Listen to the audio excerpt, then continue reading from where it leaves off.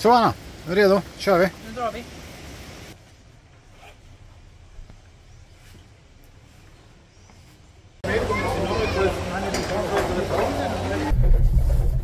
Ja, då är vi på väg upp. Det är kanske en kvart, 20 minuter kvar innan vi är Ja. uppe. De vi ska flyga med åker i bilen före Ja. med utrustningen. Så eh, vi... Eh, eh, nästa film tror jag blir när vi eh, är i luften faktiskt. För eh, vi... Eh, ja. Nu är vi på väg. Nu är vi på väg och det, vi kommer, jag kommer inte kunna filma när vi håller på och riggar upp och allt det här. Utan ni får se när vi är i luften. Med GoPro-pinne. Kör vi! Ja.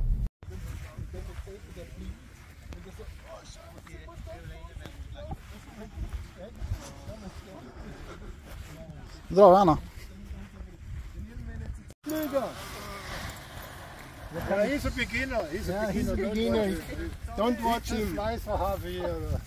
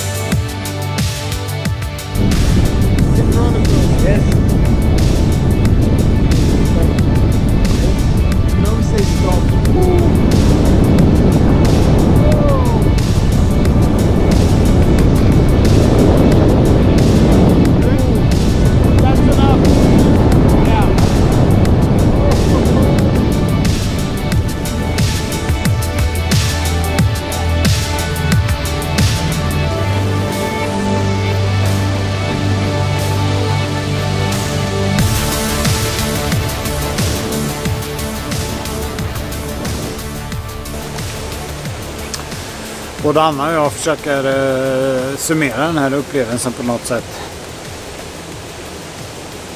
Det är skitsvårt. Det är oerhört eh, häftigt och mäktigt och samtidigt var det ju massa rädsla och obehag inblandat. Mycket adrenalin. Eller? Ja.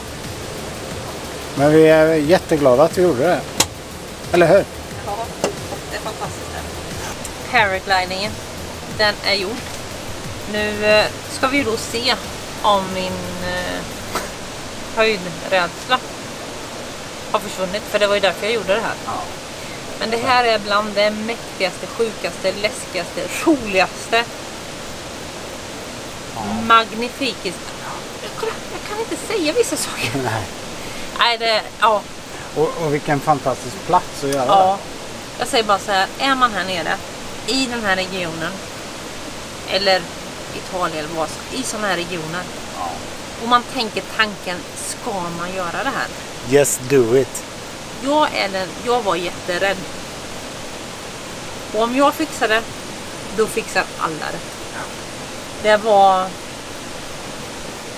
Men nu är det ju tre timmar sedan vi flög så vi har ju landat lite. Kan vi... Ja, jag har ju fått vila lite. Ja, det var en jäkla upplevelse helt enkelt.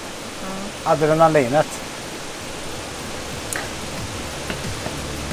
Tack för att ni tittat. Skitkul. Vi.